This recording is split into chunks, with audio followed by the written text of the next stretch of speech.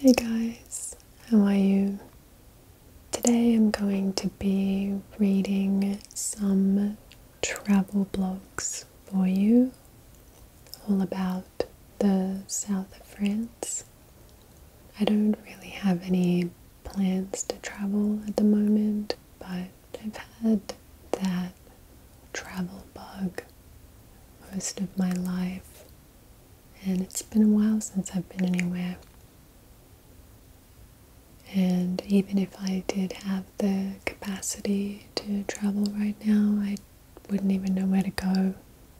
So I thought it'd be a good idea to start reading some travel blogs and maybe some Lonely Planet guides and just start learning what's out there in the world now.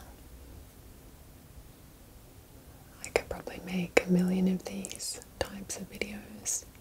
So if you have any plans or just an interest in any particular places, please leave it in the comments and I will try to do a video on those places as well. Otherwise, I'll just pick some places that appeal to me. Let's get into it. Oh, but before we do start, I'm going to do my best to pronounce all of these French words. It's not going to be easy. So if you are French, try not to hate me. So this first one I have here is a blog called Oliver's Travels. I'm just looking at the pictures already. Look at that. Where is that? That doesn't even look real. I didn't even notice the ocean in the background there. Wow. If you know where that is, let me know. With its balmy summer days, picturesque beaches, and rustic countryside, it's no surprise the south of France is one of the world's most popular destinations. It's certainly one of our favorites. We've put together our top tips, some handy blogs, and great ideas for things to do in a south of France travel guide. When is the best time to visit? While there's never really a bad time to visit the south of France, it's a good idea to plan when you go with the weather in mind. Spring can actually be a bit unpredictable, especially with the rain. Those April showers even extend to the Côte d'Azur. So, if you're after a tan topping stay with more time in the pool, plan your trip between May and October. The days are much longer then, too.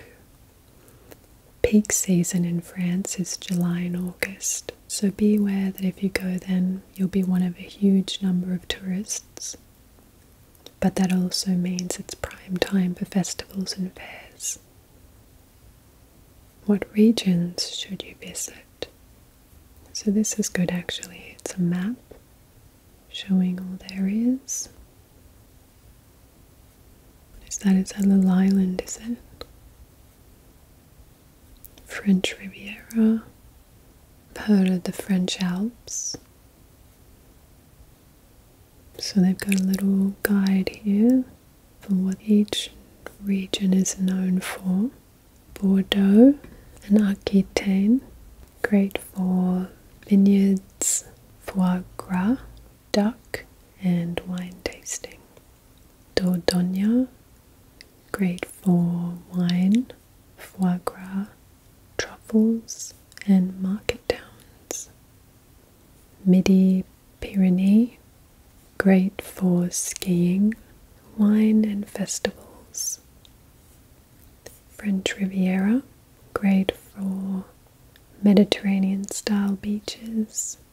Nice, Saint Tropez, Cannes, yachting, and festivals.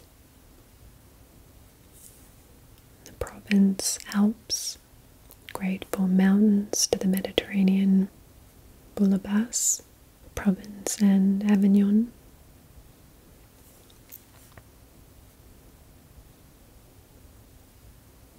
Yeah, I'm not too interested in trying foie gras, but I could imagine going to some vineyards and doing some wine tasting would be really nice.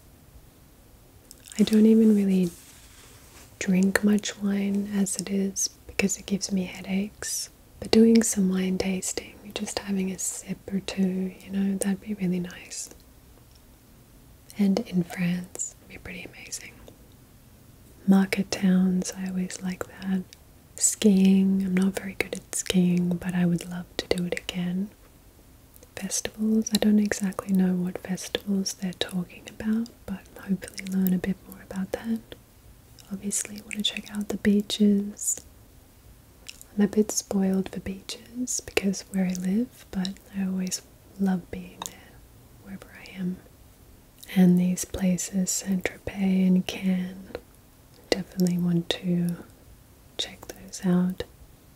And the mountains, that sounds nice to me, but it depends how high we're talking and how easy they are to climb. And if there was some really amazing views, that would be pretty great. Bouillabaisse off the top of my head, I can't remember what that is, but I'm sure it's some kind of food.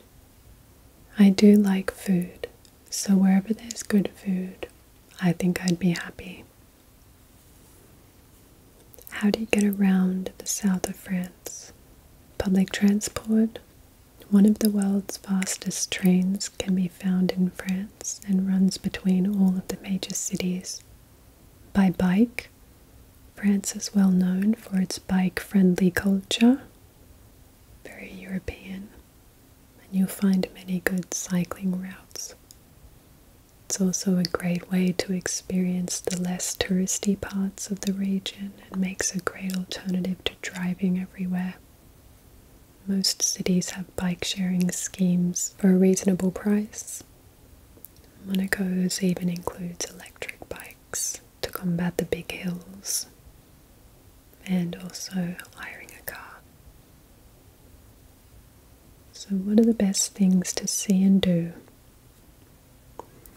I'm always so taken with old school architecture like that. It looks good in the photo, but I imagine being there in real life would be really breathtaking. Want to check out an artist's self confessed masterpiece? Towards the end of his life, Henri Matisse helped design the Chapelle du Rosaire in Vence, which is now considered one of the most important religious buildings constructed in the 20th century. How about a palace built by a postman? This is one site that's not soon forgotten. Postman Cheval spent 33 years building his palace ideal in Hauterives using stones he'd collected during his rounds. The result is a beautiful and highly eccentric piece of work. Arles is full of incredible Roman history. I would like that, including an amphitheatre and forum, plus some impressive 17th century mansions. However, Arles is largely known as the place where Van Gogh lost his ear, with the Van Gogh exhibition erected in his honour. Le Palais des Papes in Avignon proudly holds the title of the biggest Gothic palace in Europe. That sounds cool. This spectacular 14th century site is a must see if you're a history buff, but you can't help but be fascinated simply by the sheer size of the place. With origins dating to Julius Caesar's defeat Mark Antony and Cleopatra in Egypt, the historic amphitheatre of Nîmes is well worth a visit. Once serving as a destination for enjoying epic shows, it's now one of the most well preserved places from our ancient past. The striking Gorge du Verdon acts as France's very own Grand Canyon Make a day of it by enjoying a walk around the spectacular scenery, or hire a canoe and take to the water to fully appreciate the canyon from a whole new angle. If you're looking to challenge yourself, try hiking the Gorge du Verdon. They're definitely not for beginners, so make sure you're confident and kitted up accordingly. Nearby, you can also explore the hilltop village of Moustiers Sainte Marie and its fragrant fields of lavender. If luxury experiences are more your thing, we have you covered with our 10 luxurious experiences. Might have to check that out as well.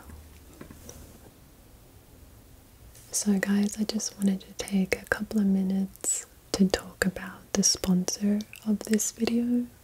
It's very exciting for me to have a sponsor. It's a jewelry company called Ana Luisa. I'm actually wearing a couple of the pieces here that they sent to me, which is nice. I agreed to work with them because they are purposely sustainable and ethical in their practices. I like when brands think about their impact on the environment. We can do our part as individuals, but we really need businesses to also do their part and keep striving to do better. And Ana Luisa are committed to that, and they're affordable. Just looking at the website, I find the designs to be really delicate and feminine, but they do have different styles. I have this one, the Rowena necklace. Cute little flower necklace. The chain's really dainty. Makes it very elegant. And also this number necklace in gold. Can you see? It's the number 12. It's for my dog. His name is 12 I love this so much. I don't have many sentimental things in my life, so I want to keep it forever. So you can see it's two year warranty and every single piece of jewelry is rigorously tested and guaranteed to be long lasting, so no tarnishing, hypoallergenic, and water resistant. So you won't get those green marks, which is good because I don't really plan on taking it off. I think I could wear it with anything. I really like them layered like this. And since they're selling direct to the consumer online, there's no retail markup, and it's also free shipping if you're in the US because they're based in New York, but they do ship globally, and that's very affordable too. So, if you're looking for some beautiful and eco friendly jewelry for yourself or maybe a loved one, maybe you want to check out Ana Luisa and they have very generously provided a link that will give you a 30% discount, which I'll put in the description box. So definitely take advantage of that if you find something you like. So thank you Ana Luisa for sponsoring my video. Anyway, let's get back into it. What are the best things to eat? Bouillabaisse is the obvious one here a traditional fish stew dish that originated in Marseille. There's a reason it's the most popular dish on the Côte d'Azur. Pistou soup is made with a French take on pesto mixed with white beans, tomatoes, and green beans. It's traditionally enjoyed in the summer, making use of only the finest fresh ingredients. That sounds pretty good. If you spot it, try a slice of pissaladière. This half Mediterranean, half French pizza has a thick, doughy base that's covered in heaps of sauteed onions, anchovies, and olives. So that's what that would look like. I would try it. I would. But I'm not crazy about anchovies. I don't mind them actually. In the right thing, I think I just don't like the idea of them. Can never buy them. I never added them to anything that I've made, but I have had them in other food I've eaten. I like olives and I like pizza. There's so much to know, you guys. South of France for families. While the south of France is perhaps best known for its fresh produce, fine wines, and ancient sites, it also makes a perfect place for your family holiday. You'll be surprised by the wealth of things to do with kids all year round. That looks like apple picking. I'd do that. Eating an apple like fresh off the tree. They've got a Monaco aquarium. Get up close and personal with all the creatures of the deep. I guess that's entertaining, but you can do that anyway, you know. Fruit picking. That's what we like. Fruit picking at Domaine Natura is a great excuse to get younger kids out in the open air and teach them about where our food comes from in a fun way. Not to mention being able to munch on the freshest fruit while you're at it. They got a zoo again. Could do that. Oh, this sounds cool. Fantastic, fun way to let off some steam as a family. La Forêt d'Acrobat. It's full of assault courses, zip wires, and climbing walls. yeah, I guess you could do that anywhere as well. Dinosaur Museum. I think I'd rather just take my kids to the beach or something. The best walks. These South of France trails are just the ticket if you feel like stretching your legs in the great outdoors. Accessible by amateurs of all ages, they're ideal for seeing some fantastic sights. Just pack proper footwear and don't forget the picnic. So beautiful, look at that. That's like a really nice view for a hiking trail. Going underground, where the cave of Rouffignac Dordogne. This impressive trail leads through a series of caves detailing a fascinating history that spans from the Neanderthals to the French resistance. It's a fun five to seven hour trail and best suited to families with older kids. St. John Cap Ferrat hike in Nice in the Côte d'Azur. Smelling the fresh sea air and seeing the stunning sea views makes this three to four hour walking trail a delight for all the senses. Depending on how you're feeling, you can choose to walk either one or both of the peninsulas. Maybe that's what that image was before. And there's also Via Ferrata Balma Negra. That's at Roubion, 70 kilometers north of Nice. Climb to great heights on fixed rung systems in the mountains of Provence. Via Ferrata gives you the experience of rock climbing without the risk, with the route itself only covering 300 meters but still reaching an altitude of 1,450 meters. It's the perfect activity for adventurous families with no previous experience required. There's also a part here talking about the best golf courses, but I don't think I'm going to read that part, guys. Oh, that's the end of the article, actually.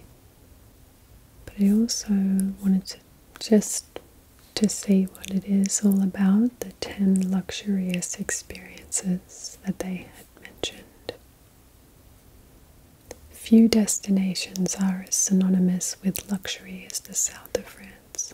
The Côte d'Azur, also known as the French Riviera, has earned its glamorous reputation with world renowned cuisine, high fashion, and breathtaking natural beauty. From its golden sand beaches lined with swaying palms to its azure waters sprinkled with yachts. Not to mention Monaco, home to one of the most lavish sporting events in the world, with countless extravagant attractions and activities on offer. It's no wonder so many dream of a luxury holiday in the south of France. If you're keen to experience this lavish utopia for yourself, you may be wondering where to start. After all, you'll want to ensure you have the best possible experience when visiting such a prestigious destination.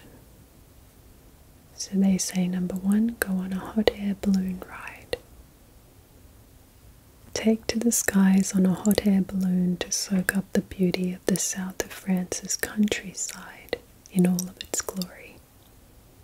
In fact, soaring above the lavender fields or snow capped mountains of the Pyrenees is one of the most enchanting luxury experiences to be had on your European getaway. Whether you seek an adrenaline fueled adventure or a romantic escapade, a hot air balloon journey promises a magical affair. Number two, sample some of the world's best caviar. I Try that as well. Luxury holidays in the south of France are never complete without an exquisite foodie experience, and could there be a more fitting delicacy to sample during your trip than caviar? This part of the country, particularly the regions of Aquitaine and Sologne, is renowned for producing some of the best caviar in the world.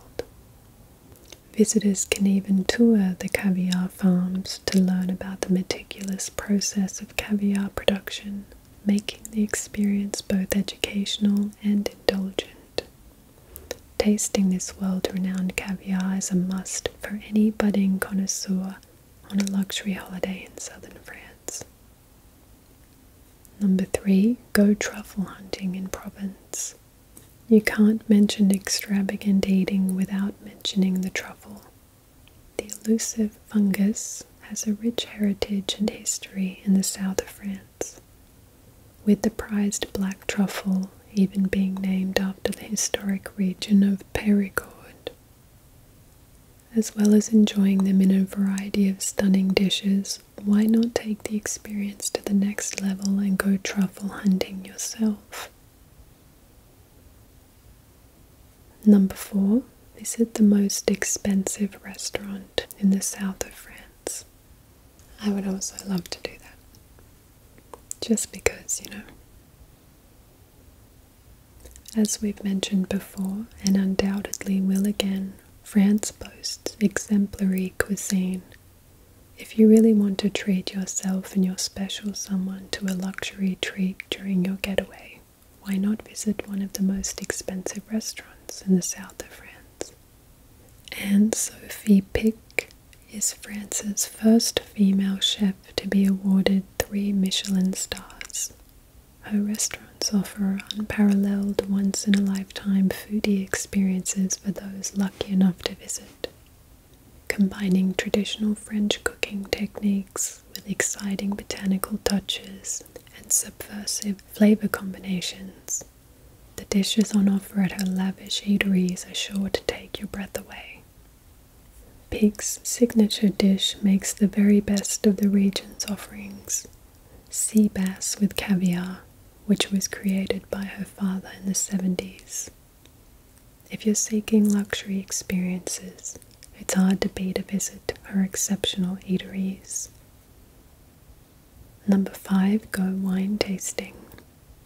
Another of the top luxury experiences to enjoy during your escape is wine tasting. After all, you need to brush up on your knowledge of wine to accompany your newfound love of gourmet cuisine.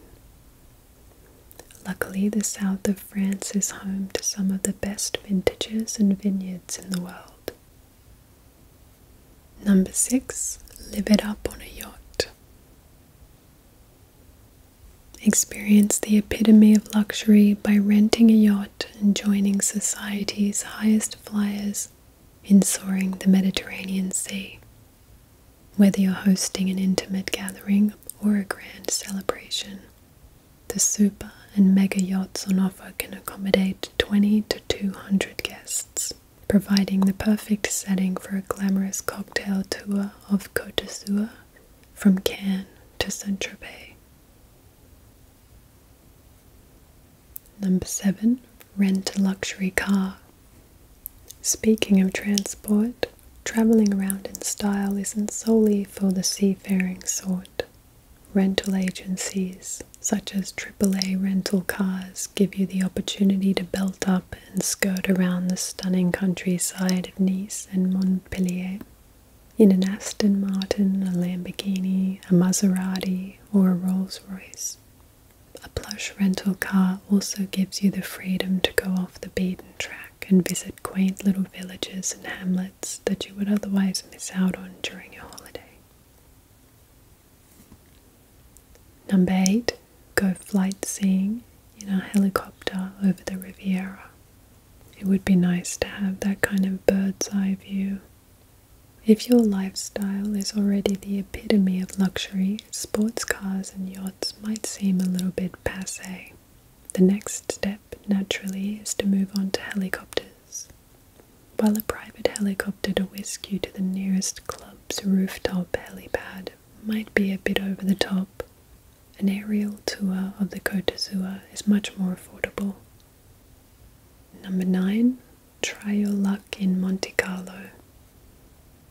While there are so many luxury experiences on offer in the South France, you simply cannot talk about a lavish trip to this destination without mentioning the legendary casinos of Monaco. The region's most famous district, Monte Carlo, is well renowned for its grand establishments. A picture of opulence and excitement, the casinos are a playground for the creme de la creme of society. Paying a visit to these venues offers a quintessential taste of Monaco's ritzy, glitzy glamour. With casinos dotted all over the region, from town centres to beachfronts, you'll have your pick of establishments to choose from. Many venues, especially those in Monte Carlo, enforce a dress code, which often requires you to wear elegant attire such as a stylish tuxedo or a classic LBD. And number 10, go for the ultimate package at the Monaco Grand Prix Lounge. Considering touring the south of France in the lap of luxury, you may wish to time your visit carefully so you can experience one of the world's most exclusive events, the Monaco Grand Prix. Expect decadence galore as you rub shoulders with Hollywood's biggest names and business moguls while watching one of the most prestigious and glamorous events on the Formula One calendar. Does any of those stand out to you? There's a few that I might do in that. I do want to check out the 10 best beaches, but I'm kind of wanting to look at more the French Riviera area because I'm interested in the little towns or cities, whatever they are, like Cannes and Saint Tropez. So I'm going to switch over to this blog here called Salt in Our Hair. They've got a 12 day travel itinerary. It says the French Riviera dazzling sea, sandy beaches, red and white candy style parasols, and pastel colored towns. This part of South France truly feels like something out of a vintage film, so it's no surprise that it's been used as the setting for many Hollywood movies. Spend around two weeks in the French Riviera getting lost in the old towns, smelling the lemons, enjoying the shade of palm trees, and watching the sailing boats bob on the sparkling Mediterranean. It's a vacation dream. They say it's easy to get around. Every town has its own unique wow factor, and the coastline is as pretty as a picture. I think this blog has a lot of pictures as well. I like seeing a lot of pictures, it really kind of helps mentally feel like you're there, you know. Now look at this, I love that. I like how the windows are kind of a green or blue, whatever that is. And that must be the street signs there. That's just so pretty to me. I even love the like rustic look of the whatever that is, the paint. So, day one to two, Marseille. Marseille is the best place to start your Côte d'Azur trip as the oldest city in France and the capital of the French Riviera. It's a romantic city with narrow alleys filled with pastel colored houses, flowers, and elegant ancient buildings. However, it's also dynamic and vibrant with its street art, food markets, modern architecture that pops out amongst the old. So cool. Look at that cool little bar there. Bar 13 coins.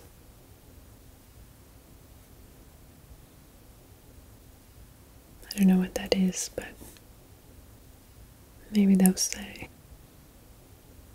There's so many great things to do in Marseille itself. However, it's also a great jumping off point to visit some stunning natural wonders in the area, such as Calanque National Park. Here you can hike along sheer cliffs and among dense greenery before reaching sheltered coves with stunning blue water. This is what the French Riviera is all about the perfect combination of refreshing summer swims, warm nights, delicious dinners, and city sightseeing. That sounds pretty good, doesn't it?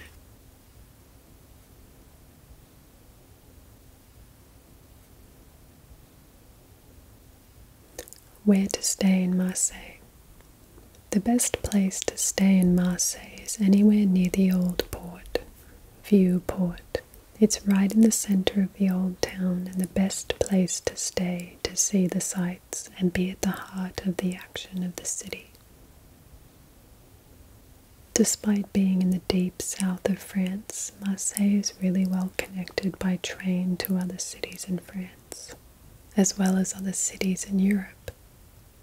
For example, you can take a train from London, Paris, Rotterdam, or Amsterdam. This is a fantastic slow way to travel, allowing you to see beautiful landscapes and be more sustainable.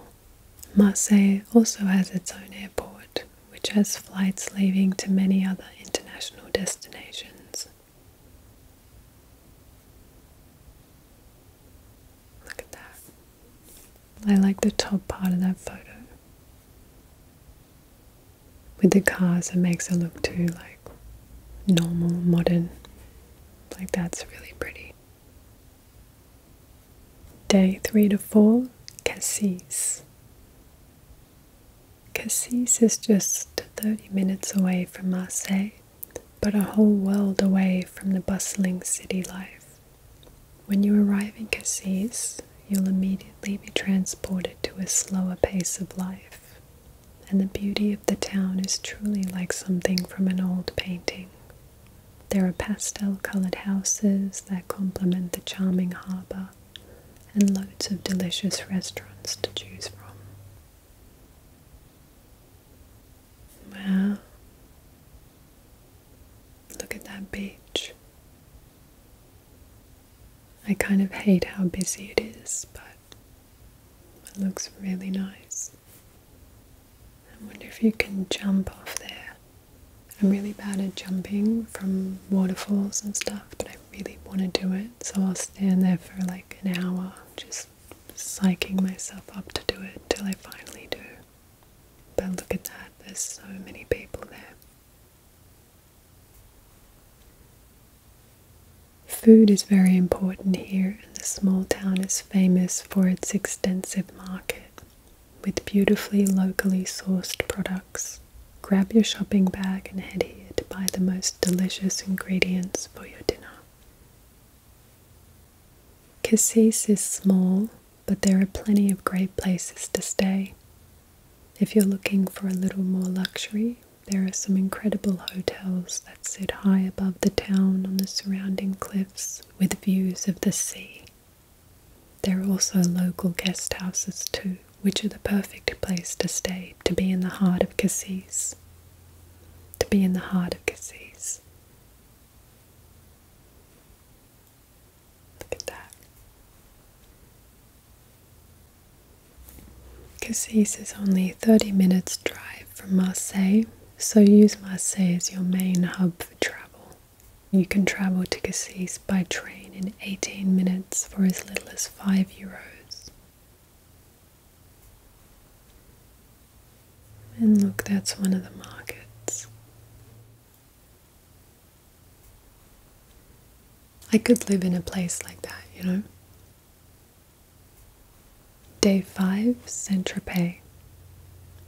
Saint Tropez used to be a small fishing village popular with artists. Over the years, it became known as a luxury destination. Now, the colourful town is home to chic cafes, beautiful houses, and a harbour full of elegant yachts. One of the best things to do is come, people watch, and sit in one of the harbourside restaurants with a cocktail in hand.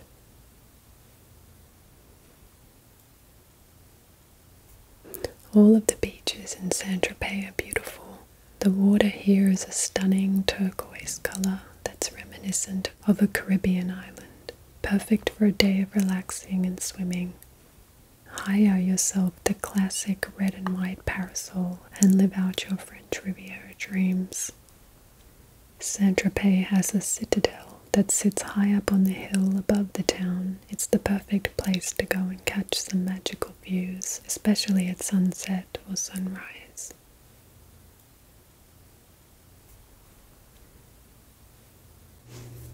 I like this kind of rustic road, footpath, whatever that is.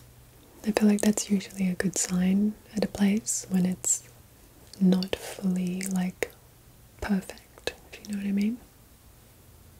The nearest airport to Saint Tropez is Toulon, 50 minutes.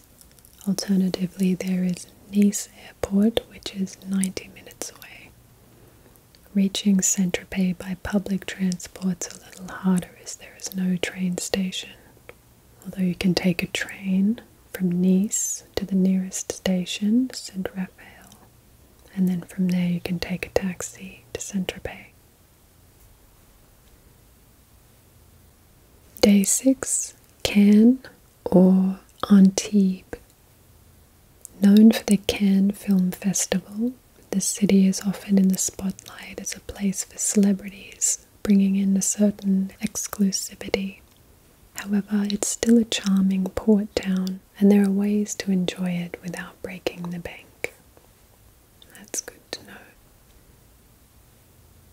There are lots of great free things to do, from visiting famous weekly market to finding murals in the old town. You can also stand in the same spot as some of your favorite actors by visiting the Palais des Festivals, where you can see the red carpet and the Walk of Fame, or as an alternative to Cannes, visit Antibes. They didn't really say a lot about Cannes here, but I know there's more to do in Cannes, even if it's just walking around and enjoying the streets and the food. Because I've seen other vlogs. That's kind of why I chose to do the video in South France. Reach Cannes from Saint Tropez by car in two hours or by train from Nice in under half an hour. Day 7 to 8 Nice, French Riviera. Nice is true to its name, one of the nicest cities in our French Riviera travel guide, sandwiched between the majestic Alps and the dazzling blue of the Mediterranean Sea. It's no surprise that Nice is one of the most popular places to visit on the Côte d'Azur.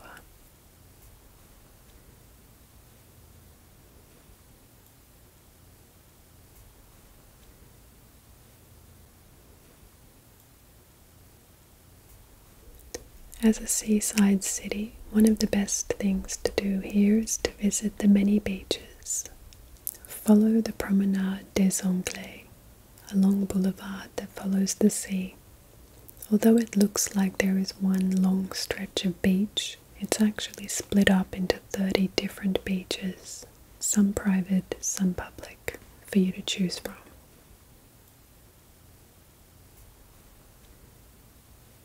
That looks really cool, but it takes a lot to impress me when it comes to beaches. It kind of looks like there's stones instead of sand. In the evening, take a picnic with the food you've bought at the market and head to the top of Castle Hill. Here you'll discover panoramic views out across Nice and the surrounding. It's the perfect place to sit as the sun goes down. Nice is oozing with history. One of the most unusual historical buildings is the Russian Orthodox Cathedral, known as one of the most impressive of its type outside of Russia itself.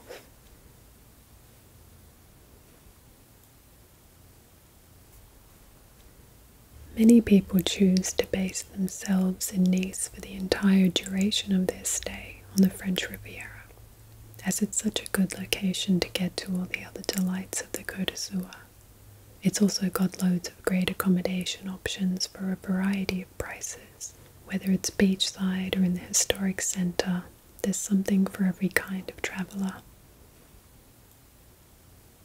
Nice has an international airport, so it's very easy to get to from all over the world. Trains from Cannes to Nice run regularly and take about 35 minutes. Day 9 Villefranche-sur-Mer. Villefranche-sur-Mer is the hidden gem of the French Riviera. It's much quieter than some of the more popular neighbouring cities and towns on the coastline, and this adds to its charm. Every old building has been beautifully preserved, and it's so picturesque that it's been the setting for many famous films.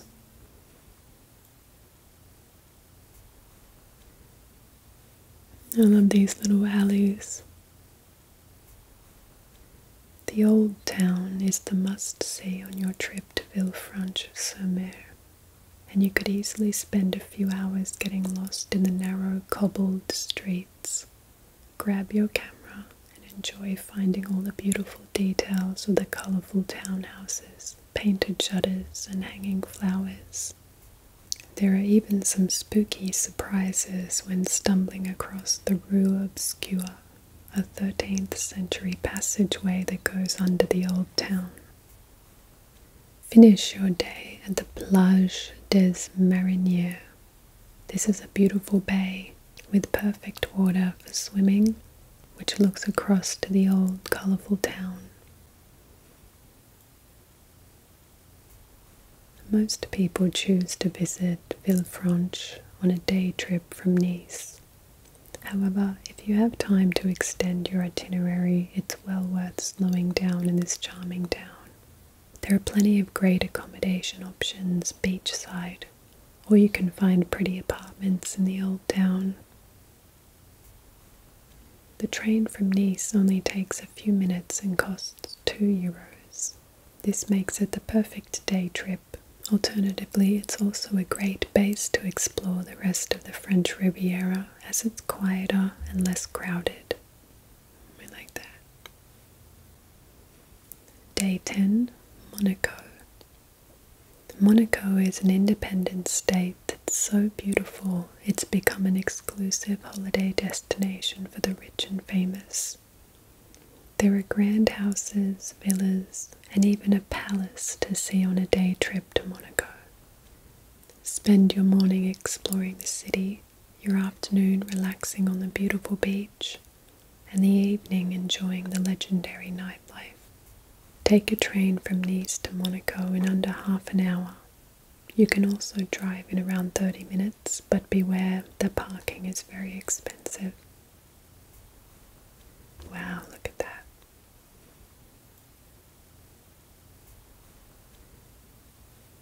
Day 11 to 12 Menton, Pearl of the French Riviera.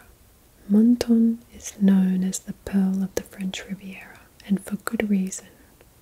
Town has a beauty that's postcard worthy pastel coloured houses, terracotta roofs, and gardens of lemon trees. I love how they paint the houses like that. Best of all, it's thought to be one of the warmest places on the coastline, with over 316 days of sunshine a year. This means it's the perfect place to visit the French Riviera at any time of year, and it's the perfect place to grow lemons. The town is very proud of this, and you can find every type of lemon product imaginable. There's even a lemon festival held every year at the end of February.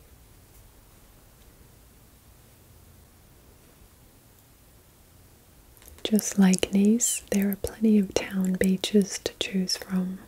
The ones to the east, towards Italy, are the sandier ones and a great place to relax after a day of wandering the steep streets of the gorgeous old town. Menton is so close to the border of Italy that it can feel more Italian than French. Hello, pizza, pasta, and gelato.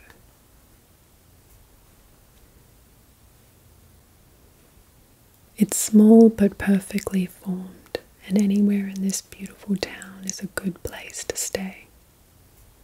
It's particularly nice to choose from one of the hotels to look out over the sea and wake up to beautiful views. From Nice, it only takes 40 minutes and it's a beautiful train ride. So, there's just one more blog that I was hoping to look through.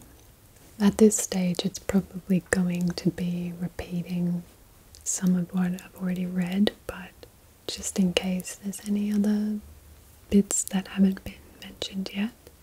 Also, it has some more photographs. This blog is called Never Ending Footsteps. There's another view of that structure that I saw before.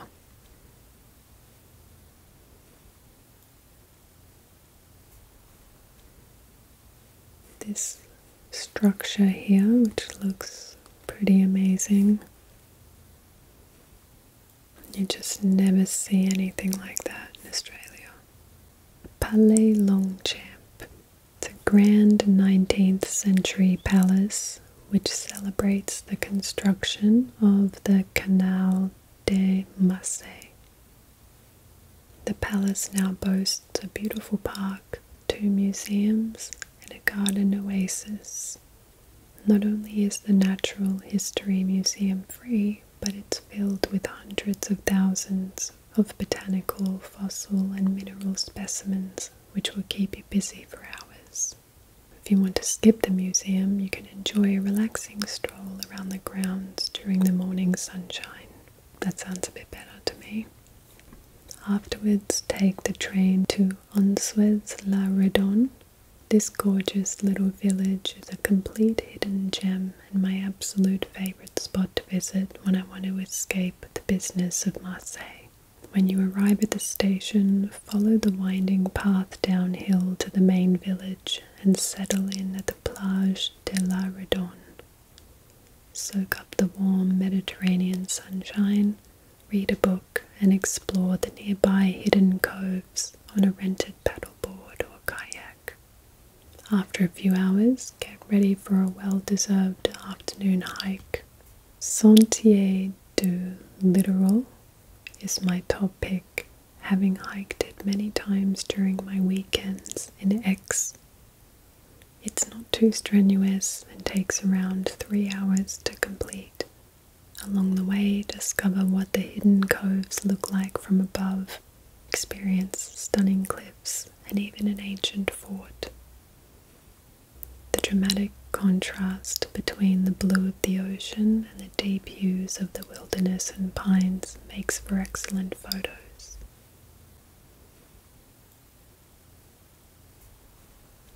There's also Aix-en-Provence. It's 11 minutes from Marseille. Before any tours or recommendations, the first thing I want you to do is go on and explore through the center this colorful city. Getting lost amidst the narrow streets, finding local hidden gems, and taking in the wonderful architecture on your way is a sheer pleasure and will inspire how you want to spend your time here. Another free yet amazing thing to do in Aix is visit Church St. John of Malta, the first Gothic church to be built in the Provence region. The church's facade is truly spectacular, adorned with intricate stone carvings, striking arches, and a magnificent rose window. Here's the lavender fields they were talking about before. Look at that. That'd be nice. I'd like to go there.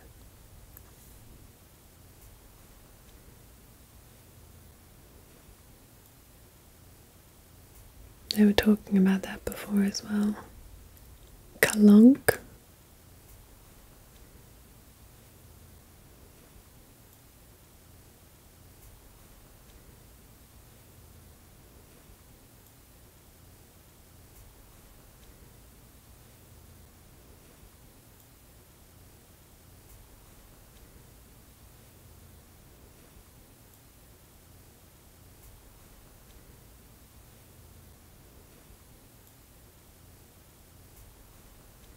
And look at this picture here. That's on Antibes. That looks amazing. Antibes is a town that I simply can't get enough of. Begin your day by taking a leisurely stroll through the vibrant Marché Provençal. Immerse yourself in the hustle and bustle of the market and delight your senses with the aroma of fresh herbs and spices wafting through the air. Sample a variety of delicious local cheeses, meats, and fresh produce to energize you for the day ahead. After all that cheesy goodness, make your way to the Musée Picasso, located in the stunning Chateau Grimaldi. This place is not only great for admiring the collection of works by the famed artist, but the medieval castle itself is just as impressive. If you want another great museum, I recommend the History and Archaeology Museum.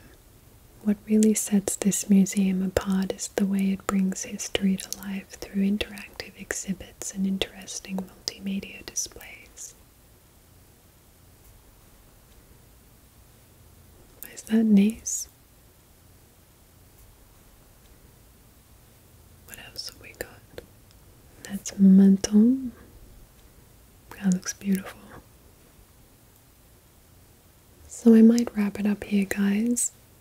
I hope I did an okay job pronouncing all those names. I have a feeling that I really butchered a lot of them, but you get the idea anyway.